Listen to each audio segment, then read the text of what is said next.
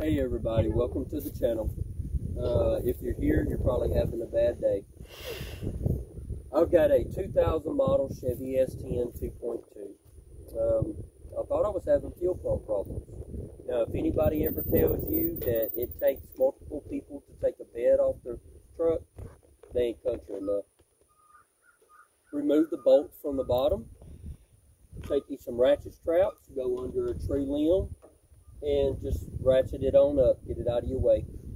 Now, where I made a mistake was is I should have tested the fuel pump, but I didn't. I went ahead and got another fuel pump and replaced it, and I was having the same problem. Um, I turned around and checked my voltage to my fuel pump, and I wasn't receiving any. So then I got to wondering what was going on. Did I have bad wires? Well, in order to test my wires,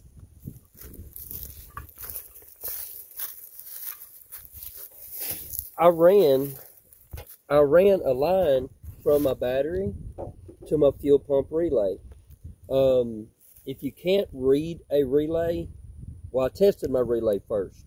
But if you can't read a relay and know which ones to to wire it into, Google it or find out or get a professional.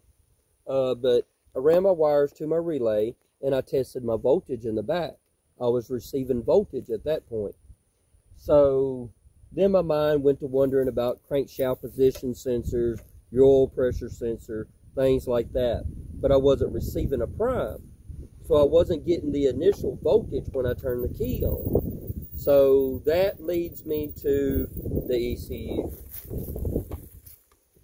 Here is your ECU. It very rarely ever goes out. Now, some people will call it an ECM. Um, I think there's some other acronyms for it. It very rarely goes out, But called a computer. sometimes it does. I replaced the ECU. Computer Mm, also. I might need to put the company in in the description. It's all computer something. They did a wonderful job. I sent them a VIN number, the serial number off my old ECU. They reprogrammed it, flashed it, sent it to me, and now when I put the key in, it fires right up and purrs like she should. Okay, uh, I hope this helps somebody. God bless you, and I hope you have a wonderful day.